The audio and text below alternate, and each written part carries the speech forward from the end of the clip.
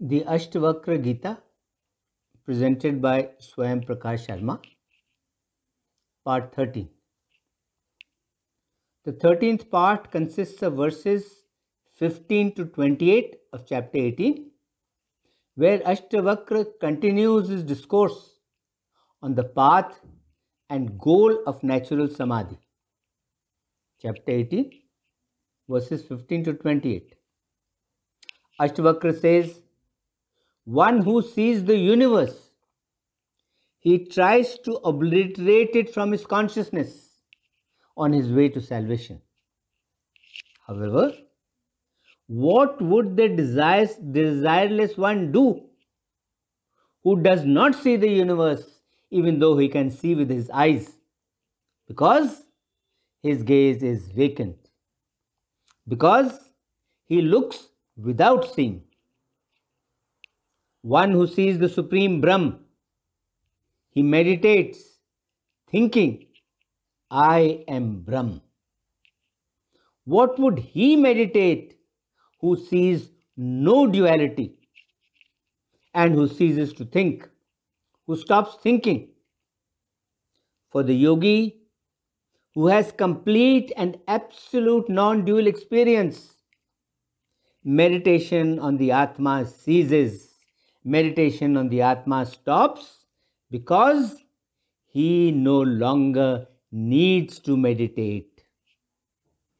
When I and Atma, Brahm, or the All, when they all become identical, when they all become one and the same, then there is neither thought nor is there any relationship of I with the Atma or Brahm, since they are all one and the same. When such a relationship as I and the Atma indeed exists, then it is known as bondage of the heart. It is known as a knot in the heart. The person who experiences distraction in the self, it is he who needs to undertake self control. The equal minded one, on the other hand, who sees the self or the Atma in all, and who sees all in the Atma, such a one is not distracted. Having nothing to achieve, what would he do? Since he has nothing to achieve, he also has nothing that needs to be done. Therefore, there is nothing that he does because he transforms himself into the effulgent, all encompassing Brahm. Though he lives like one, the wise man is the opposite of the average man. He does not see absorption of himself. He does not see distraction of himself, nor does he see involvement of himself. The wise one who transcends both existence and non existence. He is contented and he is devoid of all desires. Even though in the eyes of the world he appears to act, yet he does nothing. The contemplative man neither accepts nor does he reject existence. For such a one, there is neither involvement, nor is there renunciation, nor is there obliteration. For the wise one, there is no trouble either in doing action or in remaining totally inactive. There is no trouble either in action or in inaction. What and one comes to him for action, he undertakes that and lives happily. Whatever comes to him for action, and whenever it comes to him for action, irrespective of the time, he undertakes that action and lives happily. Such a one is desireless. Such a one is autonomous. Such a one is free and he is emancipated. He moves about like a dry leaf that is driven by the wind of his sanskaras. The inner trends of the deeds done by him in his previous births.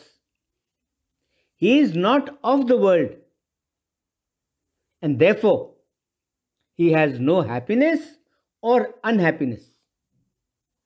He is tranquil in mind and he lives as if he has no body. For the wise one who is delighted in the self, who is delighted in the Atma, whose mind is serene and pure, there is no desire to renounce, there is no sense of loss anywhere. He has no desire that needs to be renounced, nor is there a sense of loss anywhere for him. By nature, he is void in mind. He acts according to his wishes. He has no feeling of honor or of dishonor as ordinary people have. He does all his actions with this thought this action is done by the body. This action is not done by me, who am the pure self, who am the pure Atma. Therefore, though he undertakes actions, yet he does not act. A person who is liberated in life, he performs his actions, he does his actions, but would not say it. Although he is not a fool, the liberated person has no goals for his actions and he cannot indicate them if asked about them. Apparently, he behaves like a fool, though he is not one. Though he lives in this world, he is quite happy and blessed. The wise one withdraws himself from diverse reasonings as regards the reality and withdrawing himself from the diverse reasonings regarding reality, he attains complete repose. Then he neither thinks nor does he know, nor does he hear, nor does he perceive. The wise one who is without both concentration and distraction. He is neither a seeker of liberation nor is he in bondage.